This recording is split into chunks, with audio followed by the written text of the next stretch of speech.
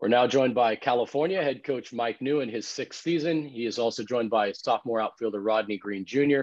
and junior right-hand pitcher Paulshawn Pasqualotto. Cal went 29 and 27 last year and finished tied for sixth in the Pac-12 conference. Coach Neu, if you want to start us off with an opening statement about your team and the fall leading up to 2023. Yeah, for sure. Thanks, Tyler. Appreciate all you guys being here too. It means a lot for our program and obviously Bay Area baseball. Um, yeah, last year you know, we uh, we made a, a, pretty good push uh, toward the end of the season. Um, you know, I thought we we made a little bit of a run for a regional. We played our best baseball at the end of the season, which I think was really encouraging. Uh, you know, for our program and for that team that we had. Um, moving forward, you know, we lost six to the draft uh, from last year's team. We lost one incoming guy, so it obviously changes the complexion of our team quite a bit. Um, but it also, uh, I think, in a unique year last year, we had um, quite a few younger players, especially freshmen, um, that that played a lot on a on a pretty pretty solid overall team and gained experience throughout the year. And obviously, those guys we will rely on them a lot this year. So. Um, with the experience, uh, you know, Caleb Lomavita was all Pac-12 last year as a freshman. Um, RJ Green, who was with us, um, had an unbelievable year, especially toward the finish. And, and I think those two guys coming back, um, you know, had great years as true freshmen and, and will continue to do that is the expectation. Um, and then with with Ian May, Christian Becerra, Tucker Bougie, all freshmen right hand, uh, or uh, Ian May is a left-handed pitcher. The other two right-handed pitchers, freshmen that pitched significant innings for us last year that will, um, you know, be relied on more this season um, Carson Crawford and Jack Johnston, two infielders that played quite a bit as freshmen as well, that will have more significant roles. Um, and then we have some returning veterans that you know have played played a lot. Um, with Dom Soto, had a breakout year as a senior last year. He returns as a fifth year. Um, Nathan Manning and Connor Sullivan. Uh, Nathan Manning, an outfielder who's a senior. Connor Sullivan, who is um, a redshirt junior um, who pitched quite a bit.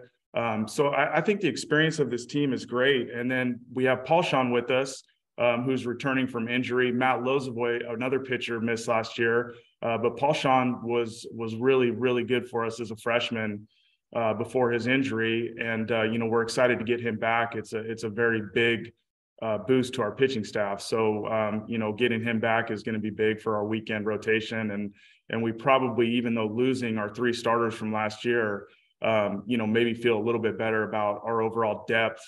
Um, and he's a big part of that. So um, we also had four transfers Peyton Schultz from Long Beach State, Cade Kretschmar from Dartmouth, Joe Williams from Pomona Pitzer, and Daniel Caldwell from UCLA. Two pitchers, two position players. So, you know, that, that gives us a little bit of um, cushion to the draft with some guys that are veterans and have some experience um, that we feel really good about. Um, I think we had a great fall. I, I, mean, I really like our group of guys. I know everybody feels pretty good about the season at this point of the year because you haven't played any games and the expectations are high. But I can say this as a coach, you know, I, I do really like our group of guys. I think they're really tight. I think um, they really enjoy being around each other. They enjoy the work. Um, you know, and and I'm not just saying that. I think you know it's it's it's uh, it's the truth, and I think it's gonna you know help us you know, uh, play well, you know, and, and hopefully early on. So I'm excited about this opportunity we have with this group. Um, these two guys that are next to me, I'm, I'm pumped that they're here with me. They're really, really a big part of this thing and they're, and they're good, um, good guys as well. So um, any questions for me or for these guys, happy to answer them and uh, just appreciate you guys again. We'll now open it up for questions for Coach Neu and the players, Rodney Green Jr. and Paulshawn Pasqualotto. Again, if you have a question, please use the raise hand function. It's in reactions. If you can't find it, feel free to shoot me a, uh, a chat real quick. First question comes from Ben Parker. Go ahead, Ben. Yeah, just a question for about the players. Just talk about what areas of your game you most uh, have worked on um, over the course of the fall and the off season to improve for this season? Um, yeah, uh, for sure.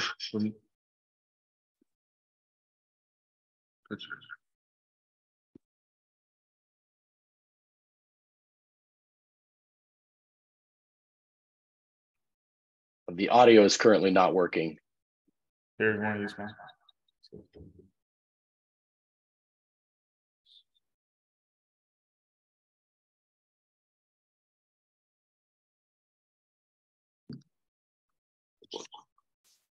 can you guys hear? Yes, we can. Yeah, for sure. Yeah, for uh, I'm Rodney. Um, for me personally, I would say something I really worked on um, was just being able to, you know, use my use my strength and stuff. Um, I mean, obviously, I was really strong last year. I feel like I've gotten, um, I put on a lot of good weight this year, and just being able to show like just had plate and stuff, and just being able to just display my um, my power just uh, to to all fields basically. And um, I would also say like just like me personally, uh, last year I feel like I could have um, done a little better in outfield, like just outfield work. And I, this year I started to focus more on my outfield skills and just fielding and making sure I can, you know, I mean, uh, make good plays in outfield for my team and get the ball in very quickly. So yeah. Yeah, and for me, um, I mean, obviously I haven't played since freshman year, halfway through about like 60%. So I've just been trying to get healthy all fall and building up, and I feel really good. I'm ready for season. Obviously, been itching at it for I think it's about like two years now, so I'm really excited. But I mean, I've just been kind of emphasizing my fastball command, getting ahead. Um, struggled with that a little bit my freshman year, as wasn't obviously what I wanted. Um, but just kind of commanding the zone with all my pitches and um, obviously establishing the fastball. So that's kind of what I've been working on. Our next question will come from Steve Kroner. Go ahead, Steve. Yeah, Tyler, thanks.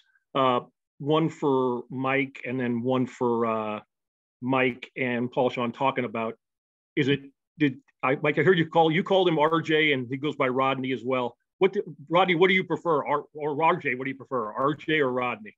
Honestly, both. I'm, I'm fine with both of them. Uh, I mean, I, I get both, both sides. Um, All right.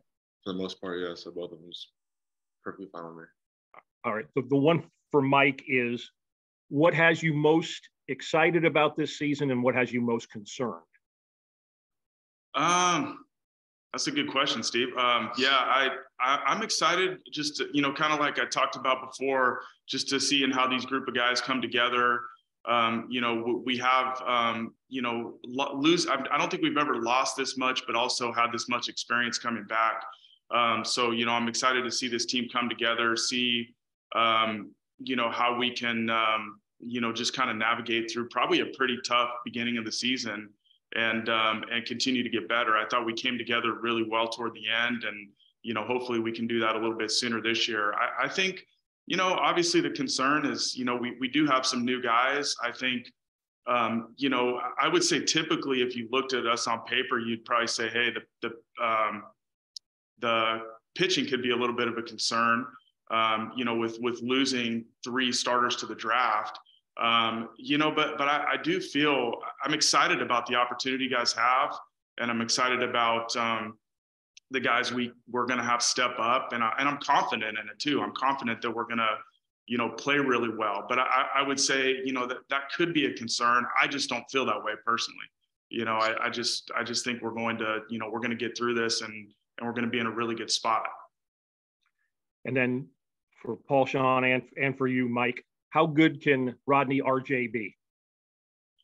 Um, I think he's gonna be really good. I, mean, I think he was really good coming in his freshman year. Um, I mean, he, has everything. He's the speed, he's the arm, you know, power. He's got everything. So uh, he's definitely a tough out, especially when I'm pitching to him. I got to throw to him all fall, and you know, I know I couldn't really make a mistake. That ball's going a long way. So um, yeah, it's gonna be tough for sure.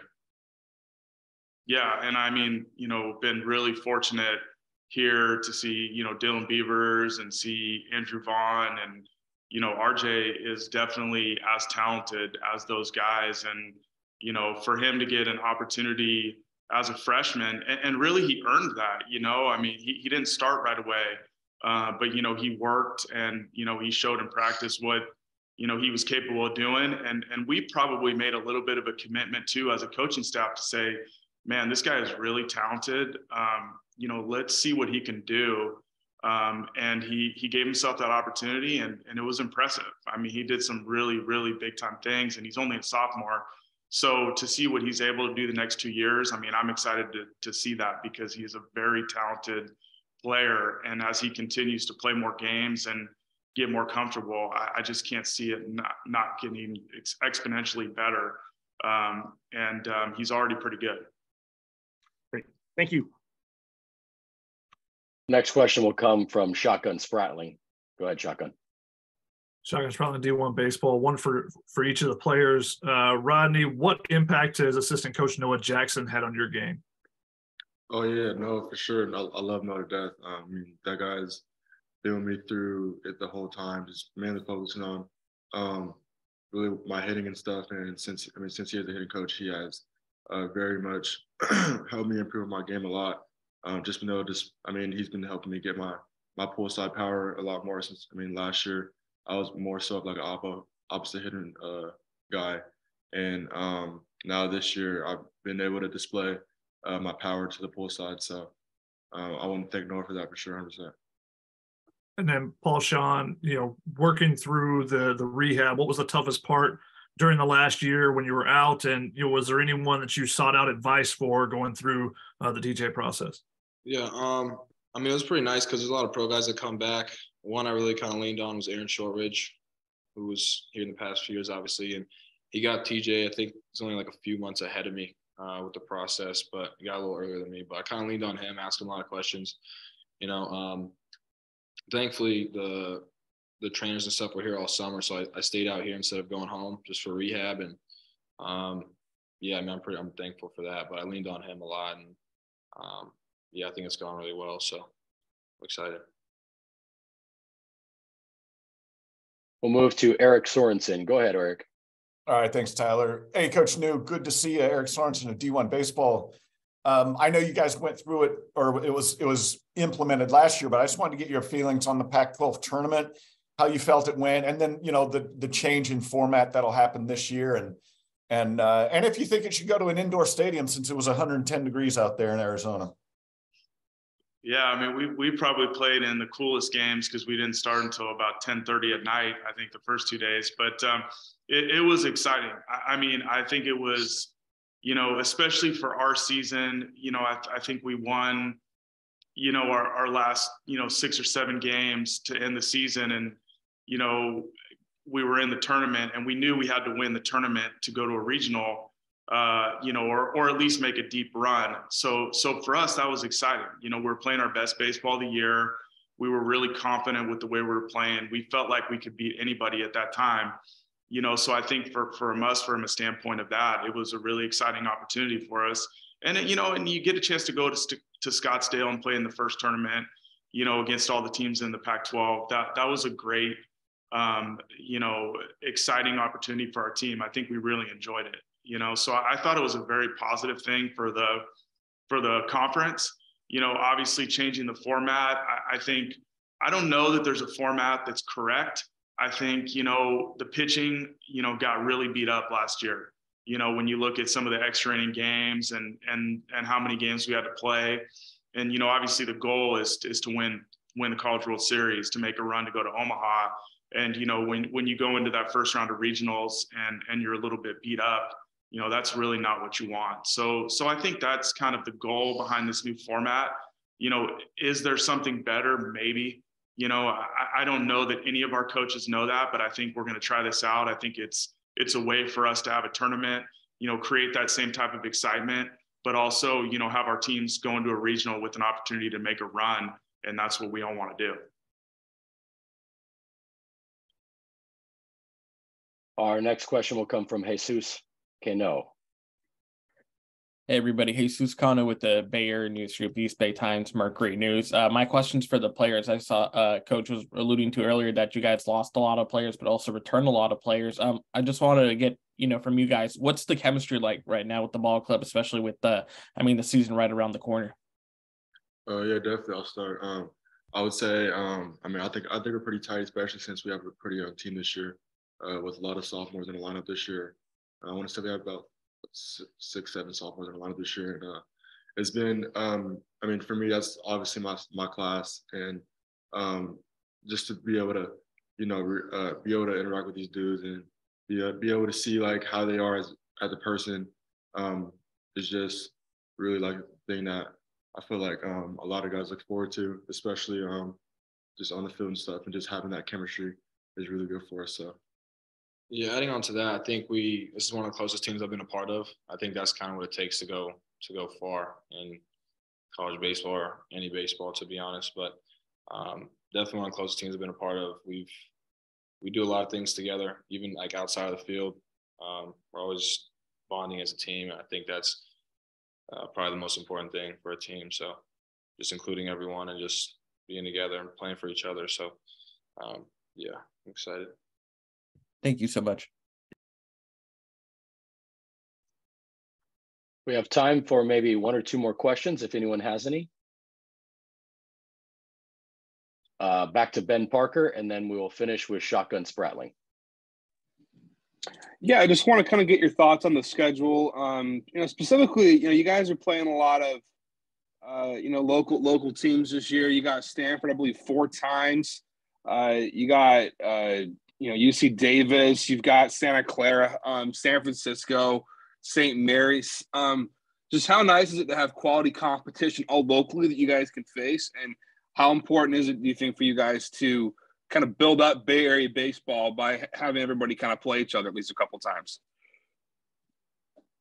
Yeah, I mean, we, we um, you know, you're right. I think having a lot of teams local in this vicinity for the midweeks, you know, makes it easier, you know, for a lot of reasons. Obviously, you know, traveling on the weekends and, um, you know, for class schedules and things like that. I, I mean, it's it's good. And then you do. You're right. You create a little bit of some rivalries within you know the Bay Area with some of these teams. I think you look forward to playing these teams every year, and you know, and understand that hey, there's there's guys that um, know each other and, and have played against each other and with each other over the course of the year. So I, I think that's that's definitely exciting part about of it.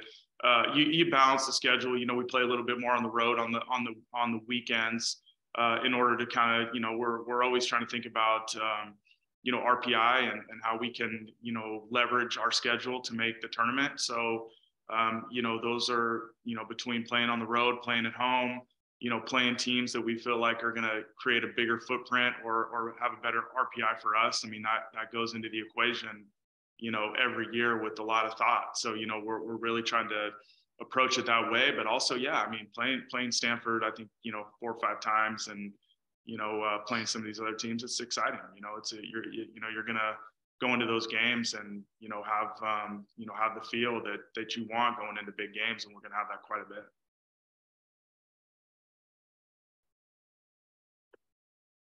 Mike, uh, you know what what does Kretschmar add with his experience and the success that he had in the Ivy League, being the Player of the Year there? Yeah, I mean, you know, he's a he's an older guy. He's physical. Um, you know, he's he's a good defender as well. Um, you know, he he's kind of um, you know, a pretty well-rounded, mature player. And then, you know, obviously coming from the Ivy League and, um, you know, winning Player of the Year in that conference, you know, it, it's just nice to have, um, you know, an addition like that, you know, and and obviously the transfer portal is, you know, um, kind of a newer newer thing, and you can see how people are using it in different ways. Um, but you know, yeah, I think for that for us that that's that was that was really good. You know, you're you're not going to replace a guy like Dylan Beavers. I mean, that is a you know, that's a first round draft pick. You know, so um, getting a guy with experience that, that um, is older and, and has some physicality and can do some things that's that helps for sure. That that gives us a, another layer that we we may not have been able to do, um, you know, without that opportunity to get him over here. All right. Thank you, Coach Neu. Thank you, Rodney and Paulshawn, and good luck to Cal this year. Appreciate it so much. Thank you. Thank you, guys. Appreciate it.